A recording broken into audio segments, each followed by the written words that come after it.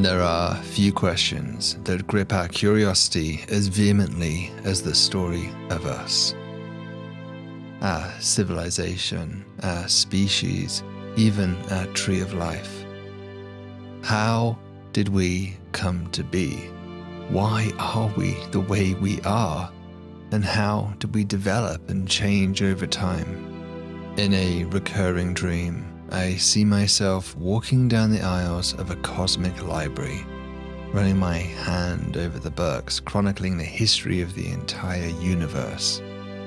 Eventually, I stumble across the book of Us, nestled away in some forgotten, dusty corner where few visitors come. The first chapter describes our solar system's birth, the formation of the Earth, the collision that forged the moon the cooling of our planet, and the emergence of life. Flicking ahead by many chapters, I finally come across humanity. If each chapter represented a hundred million years, we wouldn't turn up until chapter 45.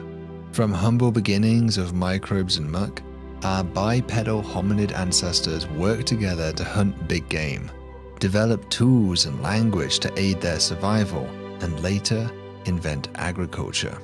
Civilizations rise and fall, develop science, literature, art, and war. And finally, the story reaches us, now, here. This is what I'd been searching for, just one more page to turn. But as I pull the paper across, the dream ends.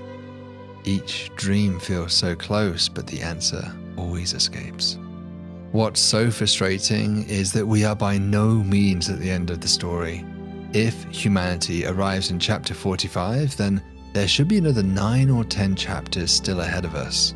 1 billion years, give or take, represents the current scientific estimate for the remaining time that Earth can support complex life such as ourselves.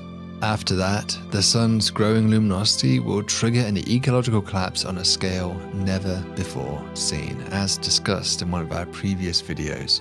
But just think about that for a moment. A billion years left on the clock.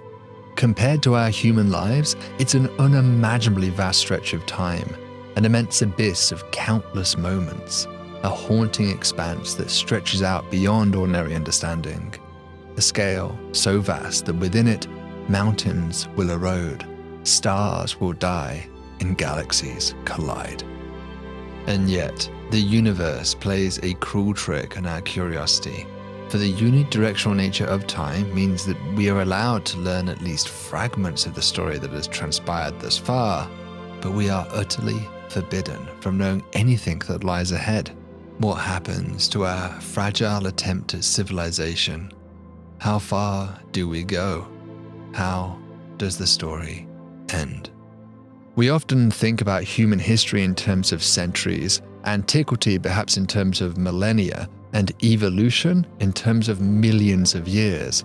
But a billion years? It dwarfs them all. Take the Neolithic Revolution.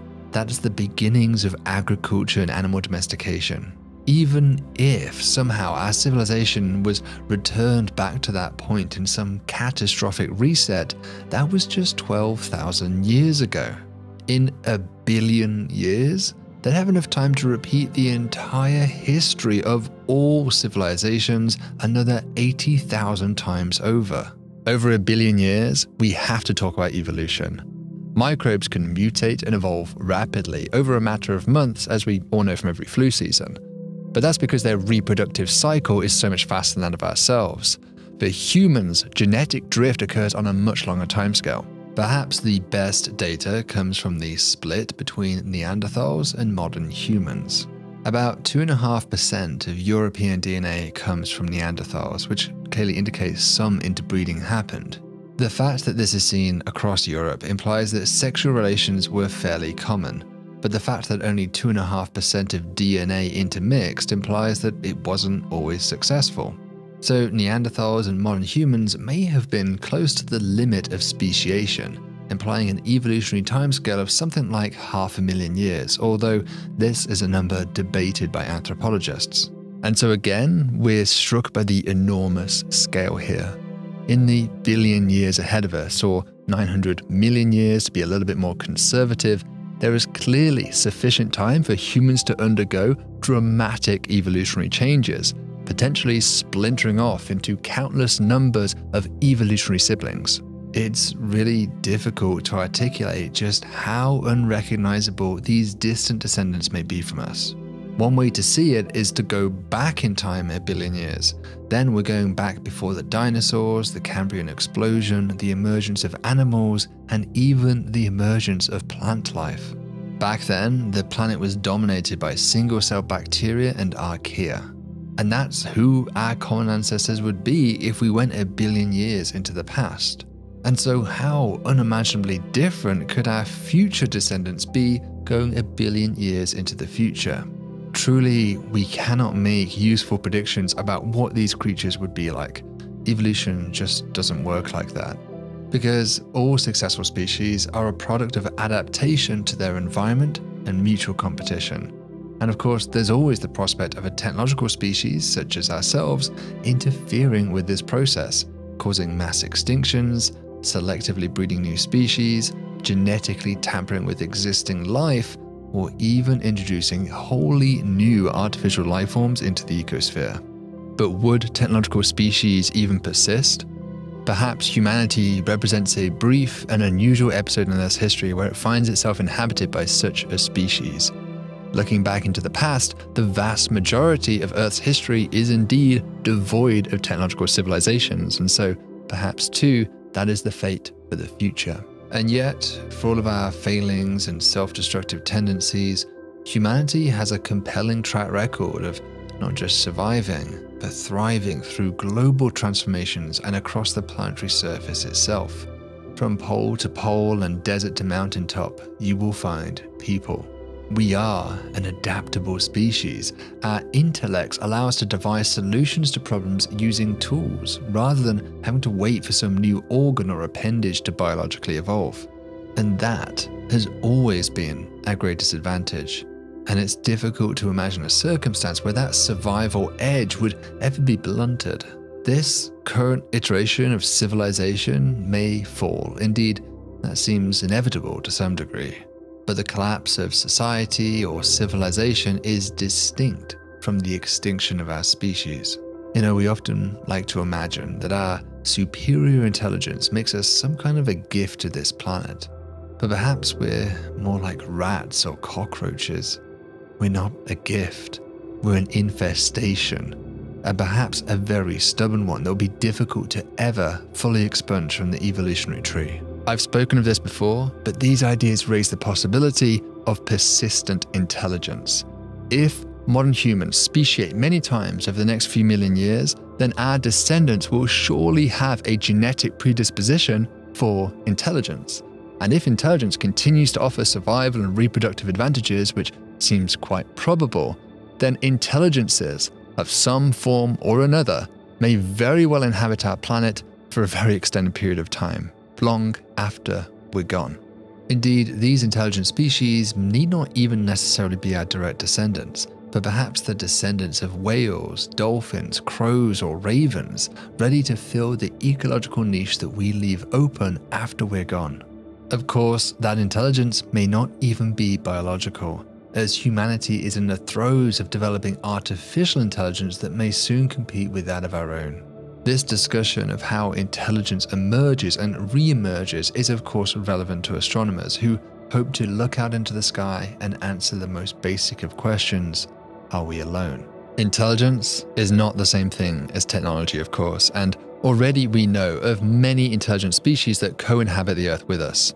So this is perhaps where our musings of the distant future become their most speculative. For although we know of multiple instantiations of intelligence amongst species, we only know of one species, that is, us, that went on to develop technology. The Silurian hypothesis floats the idea that this may not be true, though. A fossil fuel hungry technological species such as ourselves should have been viable as far back as 350 million years ago, and yet almost no trace of them would be left behind.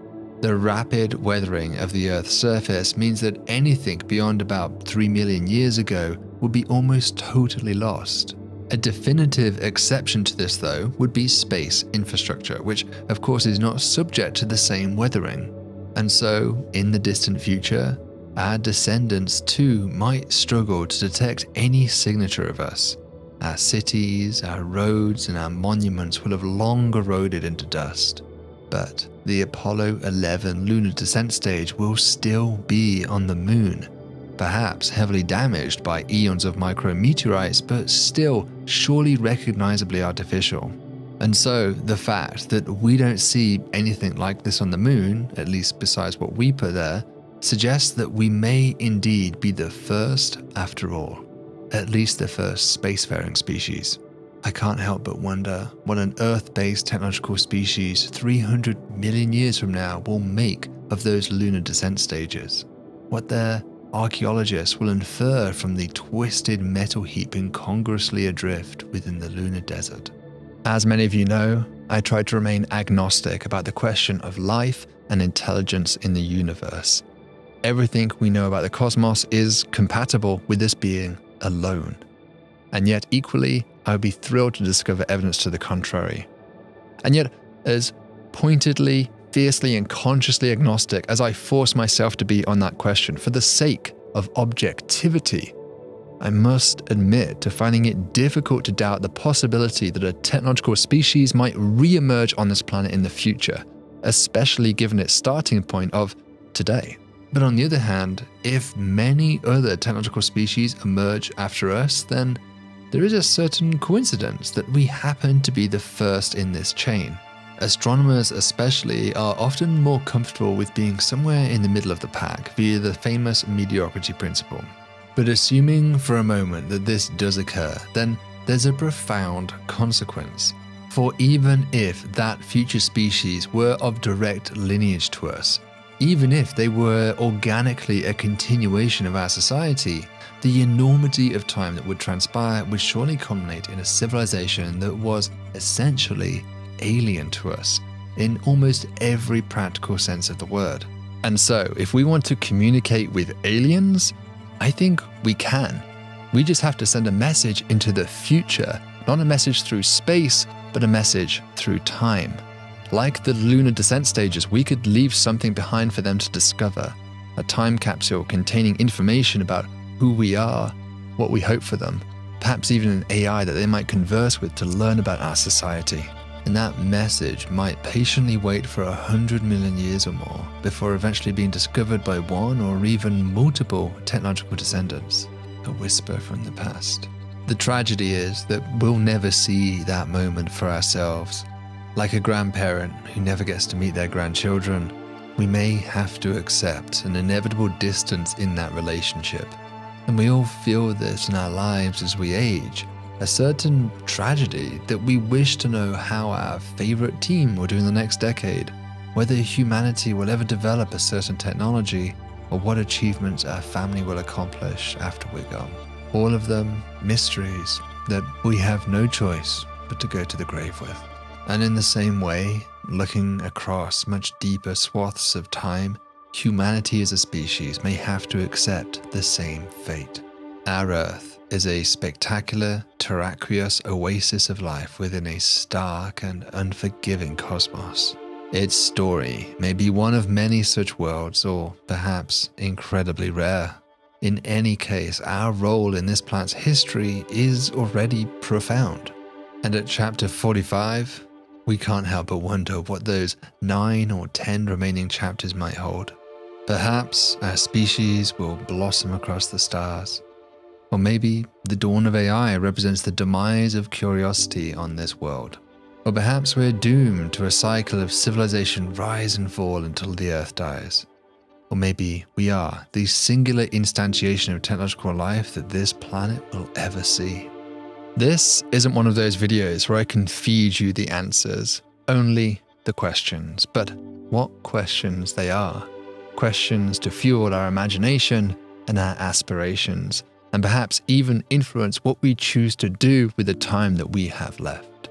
So, until next time, stay thoughtful and stay curious.